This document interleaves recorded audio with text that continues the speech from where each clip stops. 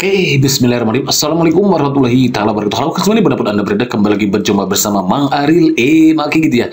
Semoga kita selalu dalam keadaan baik dan kebaikan selalu menyertai kita semua. Oke, karena alhamdulillah kembali lagi Maki berkesempatan untuk berbagi soal prediksi SKD TWK untuk CPNS tahun 2023. Di mana pada pertemuan kali ini Maki sudah masuk ke part 4 untuk SKD TWK-nya ya.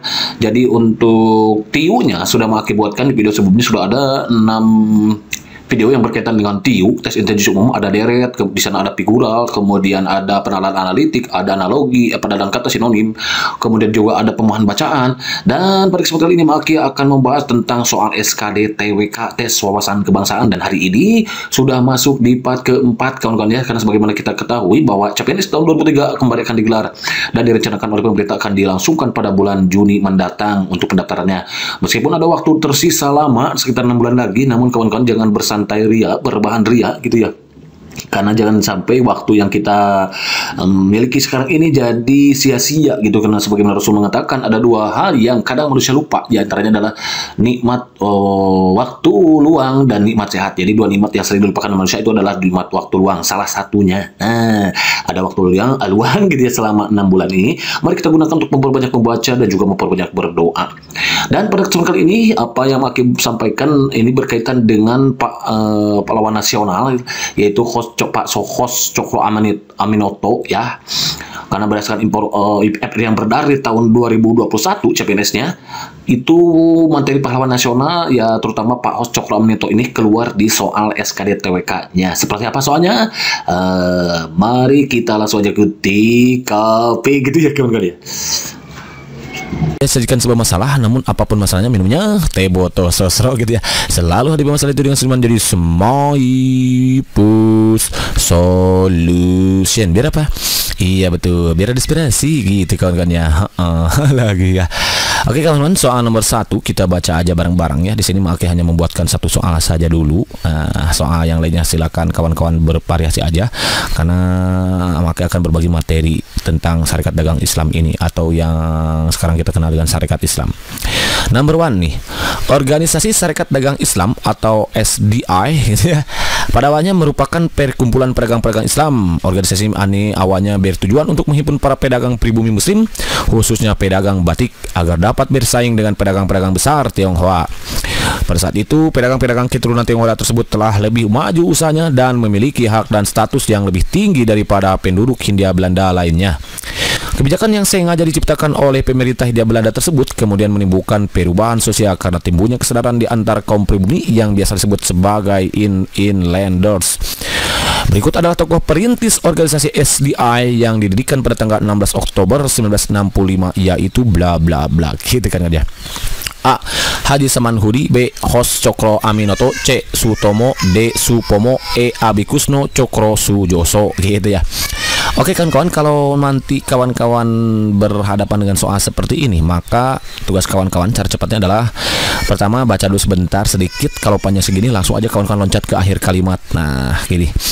Ternyata pertanyaannya ada di sini intinya kawan-kawan ya berikut adalah tokoh perintis organisasi SDI yang didirikan pada tanggal 16 Oktober 1965 oh ternyata pertanyaan inti pertanyaannya adalah yang ini gitu ya mudah-mudahan saja nanti soalnya seperti ini gitu ya kita berharapnya seperti itu namun ya gak ada salahnya kalau kita berlatihan ya karena work hard, try hard gitu ya.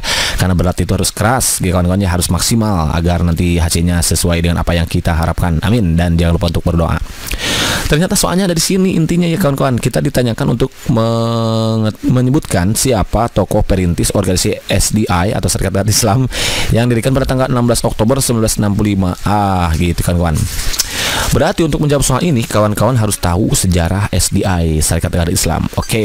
oke. Okay, jadi pertemuan kita kali ini adalah akan membahas tentang sejarah lahirnya SDI yaitu Serikat Dagang Islam gitu kan ya. Oke, pertama kawan-kawan perlu kita ketahui bahwa SDI ya yang yang sekarang kita kita kenal S sejarah Islam SI bang singkat jadi SI. Jadi dia asalnya bernama SDI nih yaitu suatu organisasi yang didirikan pada tanggal 16 Oktober tahun 1905 ah 1905 gitu siapa pendirinya? Dia adalah Haji Saman Hudi. Saman Hudi. Ya pendirinya itu ya. Adapun tujuan dari didikannya sarjana sarjana kok sarjana ya? Sa, se, Sarekat Dagang Islam ini tujuannya nih tujuannya tujuan yang pertamanya didirikannya Sarekat Dagang Islam ini adalah untuk menghimpun para pedagang pribumi muslim untuk menghimpun uh, menghimpun berarti makin singkat jadi meng ah satu tulis aja nggak apa-apa ya menghimpun Menghimpun siapa? Pedagang pribumi muslim. Pedagang pribumi muslim. Pribumi muslim. Khususnya saat itu adalah pedagang batik ya, pedagang batik agar dapat bersaing dengan pedagang besar-besar Tionghoa agar bisa bersaing agar bisa bersaing dengan pedagang Tionghoa nah gitu kan kan ya Tionghoa hmm, hmm. itu awal mulanya kemudian tahun 1100 tahun ya 1912 SDI Serikat Dagang Islam itu diganti namanya menjadi SI ya Serikat Islam. Jadi harus kawan-kawan ketahui ya. Kalau ditanyakan tokoh Serikat Dagang Islam berarti Haji Saman Hudi. Kalau tokoh Serikat Islam itu adalah Hos Cokro Aminoto. Nah, yang kita kenal Hos Cokro Aminoto. Hos Cokro Aminoto. Nah, dia ya awalnya dia menegaskan bahwa tujuan dari didikannya his apa SI itu adalah untuk hanya ekonomi saja ya hanya ekonomi jadi host Am Cokro Aminoto menunjuk menegaskan bahwa SDI ya diganti jadi SI itu tidak hanya berkutat dalam ekonomi saja tapi juga politik katanya ya. Jadi selain ekonomi dia juga bergerak dalam bidang politik. Nah, kalau dilihat dari berdasarkan anggaran dasarnya saat itu itu yang menjadi tujuan Sarekat Islam di antaranya nih kalau kawan mau tahu tujuannya satu saat itu adalah mengembangkan jiwa dagang karena bergerak di bidang ekonomi ya mengembangkan jiwa dagang oke okay, gitu ya jiwa dagang Number two itu adalah membantu anggota-anggota yang mengalami membantu membantu anggota-anggota anggota-anggota yang mengalami yang mengalami Oke, okay. mengalami apa? Kesulitan dalam bidang usaha. Kesulitan dalam bidang usaha. Itu nomor two. Nomor tiganya yang menjadi tujuan dari di bu di di apa didirikannya SI itu adalah memajukan pengajaran, memajukan pengajaran, memajukan pengajaran. Oke, okay, gitu ya. Oke, okay, gitu ya. Kayak lagi ya dan semua usaha dan semua usaha semua usaha yang mempercepat mempercepat naiknya derajat rakyat. Nah naiknya derajat rakyat gitu aja lah gak usah ditulis ya. Oke naik derajat rakyat nomor 4 itu adalah memperbaiki pendapat-pendapat. Nah mempir mempir memperbaiki pendapat-pendapat pendapat-pendapat yang keliru, uh, yang keliru mengenai agama Islam uh, saat itu gitu. And then yang kelima itu adalah hidup menurut perintah agama. Itu tujuan didirikannya SI pertama kali gitu ya hidup menurut perintah agama. Oke okay, ya. Jadi Serikat Dagang Islam yang didirikan tanggal 16 Oktober 1405 oleh Saman Hudi, Haji Saman Hudi yang awalnya bertujuan hanya untuk bergerak di bidang ekonomi saja. Kemudian tahun 1912 SDI diganti jadi SI oleh Hos Cokro Aminito yang asalnya bergerak di bidang ekonomi jadi bergerak di bidang politik dengan tujuannya adalah mengembangkan jiwa dagang nomor satu. Yang kedua membantu anggota-anggota yang mengalami kesulitan dalam bidang usaha. Yang ketiga memajukan pengajaran dan semua usaha yang mempercepat nah, naiknya derajat rakyat. Yang nomor empat memperbaiki pendapat-pendapat yang keliru tentang Islam. Yang kelima hidup menurut perintah agama. Itu dia kawan-kawan. Kemudian Januari tahun Januari Januari tahun 1913 serja Syarikat Islam, ya Syarikat Islam melakukan kongres di Surabaya. Ya, kongres di Surabaya, kongres di Surabaya. Nah, saat itu Cokro Aminoto. Nah, kalau boleh tulis ya, Cokro Aminoto menegaskan bahwa SI SI katanya Serikat Islam bukan organisasi politik eh, awalnya ya. Bukan organisasi politik organisasi politik. Eh, melainkan hanya bertujuan untuk meningkatkan perdagangan. Hanya meningkatkan perdagangan katanya kawan-kawan ya. Kemudian kongres kedua ini kongres pertama ya, kongres kedua Kongres kedua itu dilaksanakan di Surakarta kawan-kawan Surakarta. Nah, pada saat kongres ini menegaskan bahwa SI SI hanya terbuka bagi rakyat biasa katanya ya. SI hanya terbuka terbuka bagi rakyat biasa rakyat biasa. Artinya saat itu SI menolak adanya pegawai pemerintah untuk menjadi anggota. Nah, itu kongres 2 kemudian kongres 3 kongres 3 itu dilaksanakan pada tanggal 17 sampai 24 Juni tahun 1916 di mana? Di Bandung nih saat itu ya. Di Bandung. Saat itu dilontarkannya pernyataan bahwa udah masuk politik katanya ya. Jadi SI sudah bergerak di bidang politik. Kemudian SI bercita-cita menyatukan seluruh penduduk Indonesia sebagai suatu bangsa yang berdaulat. Nah, sudah masuk ke ini nih. Ke politik tahun ini ya. Kemudian yang keempat nih tahun 1974 SI mengadakan kongres keempat, kongres keempat. Nah, di mana? Di Jakarta saat itu ya. Kemudian di sini ditegaskan bahwa SI ingin memperoleh ingin want berarti ya ingin want memperoleh want to get. Nah mendapatkan ya. Oke okay, biar nggak capek nulis. Ingin memperoleh kemerdekaan sendiri katanya ya. Want to get kemerdekaan sendiri kemerdekaan sendiri uh, hingga dalam kores ini SI mendesak ke pemerintah agar membentuk DPR. Nah, SI dalam kongres ini ya dalam kongres ini SI mendesak mendesak pemerintah pemerintah untuk membentuk membentuk berarti make uh, siapa? Apa? DVR DPR ya DVR gitu ya. DPR kawan-kawan ya. Saat itu yaitu bahasa po bahasa makinya ini mahagil ya. Bahasa Pox nah, disebut Poxrad saat itu ya ya. Saat itu dikenal dengan Poxrad DPR itu. Kemudian SI mencalonkan host Cokro Aminoto dan Abdul Muiz sebagai wakilnya. Jadi saat itu dicalonkanlah host Cokro Aminoto, Cokro Aminoto, Cokro Aminoto, Aminoto gitu sama siapa? Abdul Muiz, Abdul Muiz, Muiz sebagai calon. Oke, okay. sebagai calonnya. Gitu kawan-kawan. Namun, nah, namun ternyata SI Serikat Islam itu pecah. SI pecah.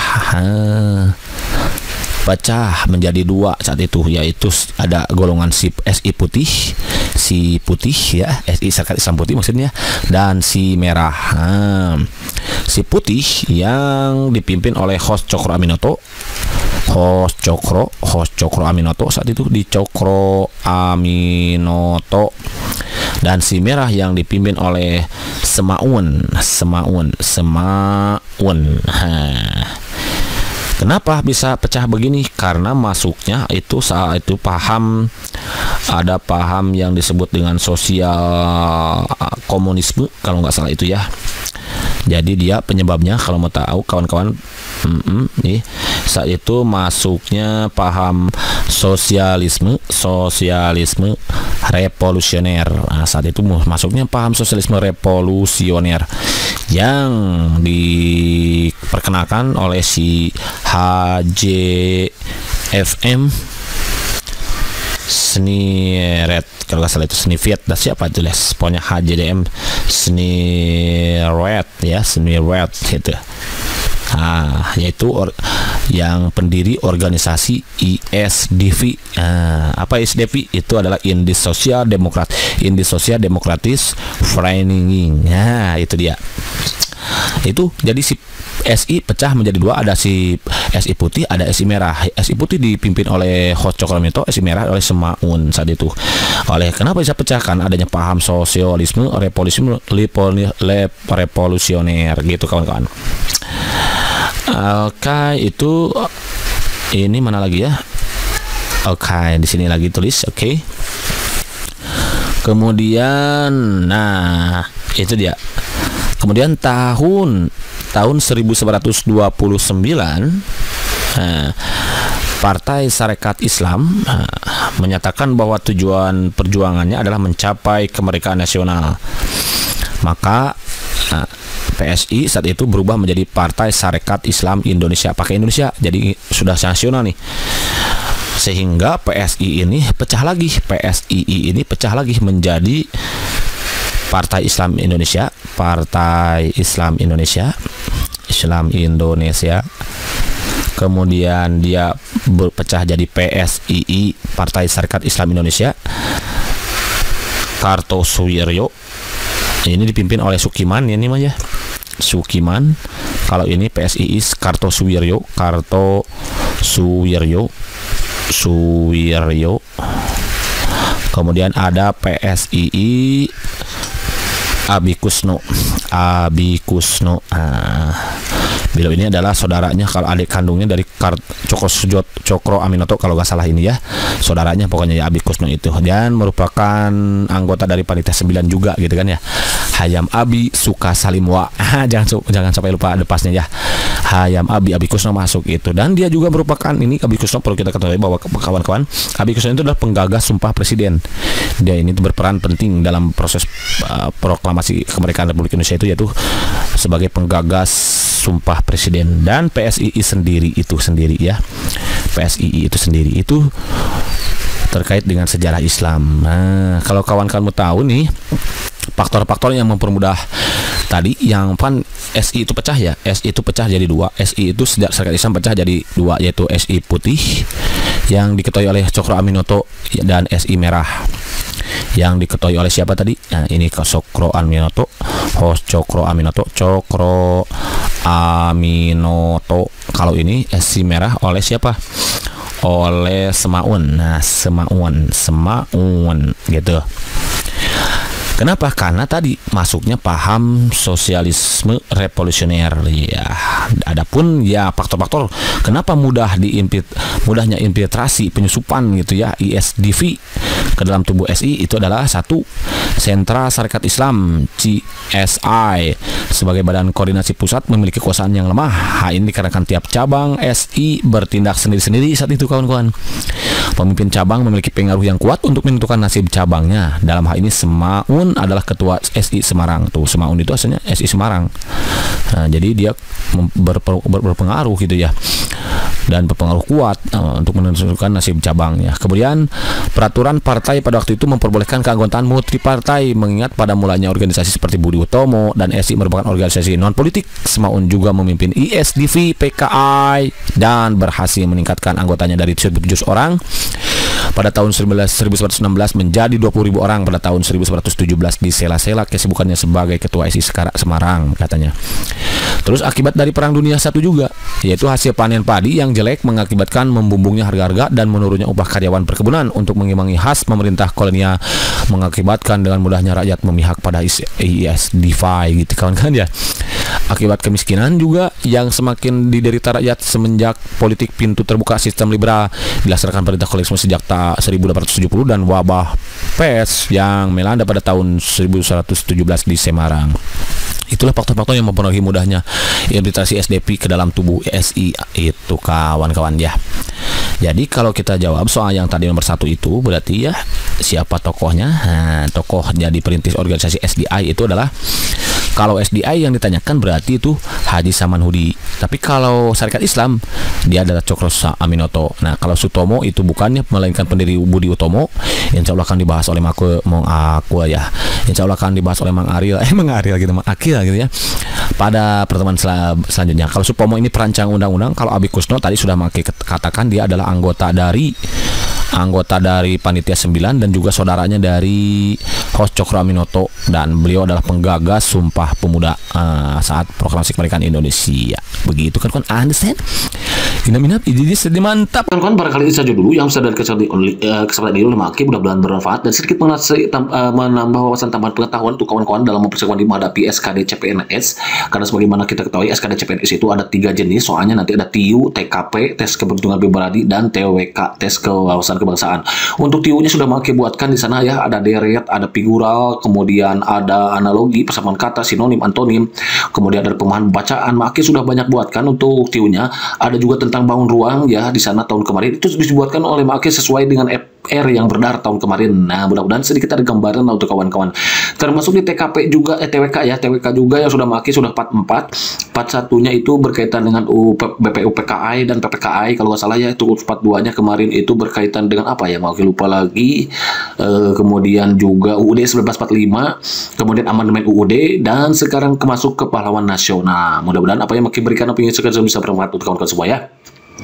Ada waktu 6 bulan lagi kawan-kawan mari kita maksimalkan waktu tes ini ya uh, untuk memperbanyak membaca dan memperbanyak doa. Jadi usahanya dimaksimalkan, doanya juga dimaksimalkan. Biar apa? Biar nanti kita hasilnya uh, mendapatkan hasil terbaik tentunya kawan-kawan ya. Apalah artinya usaha tanpa doa itu sama aja sombong dan apalagi berdoa tanpa usaha itu sama aja bohong. Karena antara usaha dan doa itu harus seimbangkan. Judul lagunya juga perjuangan dan doa gitu kawan-kawan ya. Jadi kita maksimalkan doanya karena saat kita tes nanti kawan-kawan ya yang terjadi itu kita jangan hanya mengandalkan kecerdasan otak kita saja.